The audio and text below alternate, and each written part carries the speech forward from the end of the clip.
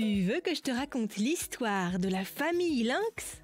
Ok, mais par contre, euh, moi, je ne raconte mes histoires qu'aux enfants qui se lavent les dents. Donc attrape ta brosse à dents, ton dentifrice, à rôde, jusqu'à ce que l'histoire soit terminée. 3, 2, 1, 0 Est-ce que tu as déjà remarqué, en te promenant à la campagne ou dans les bois, toutes les espèces d'animaux qui y vivent Il y en a énormément Et je ne parle même pas des oiseaux et des insectes D'ailleurs, il t'est peut-être déjà arrivé d'apercevoir au loin un sanglier traversant un chemin de forêt ou de reconnaître un lapin bondir dans un champ. Souvent, c'est la petite queue touffue et les oreilles qu'on voit d'abord. C'est trop mignon. Moi, il n'y a pas longtemps, j'étais en voiture, c'était le soir, il faisait nuit, et j'ai vu un cerf magnifique avec de superbes bois sur la tête traverser une route. Il était trop beau. Alors évidemment, on a ralenti et on a mis les warnings pour prévenir les autres voitures qu'il fallait faire attention. Mais imagine si c'était un animal beaucoup plus rare que tu croisais.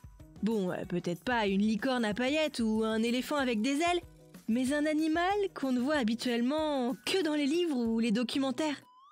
C'est ce qu'il s'est passé en France, dans le Doubs, à côté du massif du Jura, où une dame et son fils qui étaient en voiture ont croisé toute une famille d'une espèce sauvage.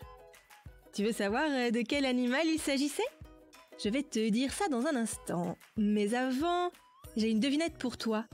Est-ce que tu sais combien de dents possèdent les félins? Le chat, le tigre ou le guépard font partie de la famille des félidés. Et ils partagent de nombreux points communs, comme euh, les griffes rétractiles, les moustaches qui fonctionnent comme des radars, ou la capacité de voir dans le noir. Et pour répondre à ma question, ils possèdent entre 28 et 30 dents, soit deux de moins que les êtres humains. Pour en revenir à notre histoire d'animaux sauvages, la dame et son fils étaient donc en voiture. C'était la nuit, lorsque tout à coup, ils ont croisé la route d'une mère lynx et ses trois petits. Waouh C'était précisément une famille de lynx boréal. Un animal superbe, plus gros qu'un chat, avec des petites taches noires, des pattes puissantes, des pinceaux à la pointe des oreilles et une queue courte. L'espèce est en danger de disparition et protégée. En France, il y aurait autour de 200 lynx qui vivraient à l'état sauvage. On les trouve principalement dans les Alpes, les Vosges et le Jura. Habituellement, le lynx est très craintif avec les êtres humains. Il est inoffensif et préfère prendre la fuite quand il croise notre route.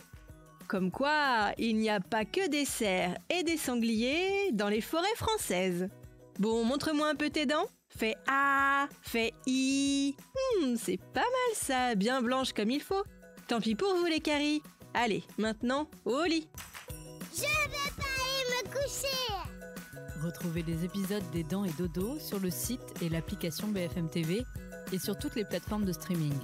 Si cet épisode vous a plu, n'hésitez pas à lui donner une note, à vous abonner à la playlist et surtout à en parler autour de vous.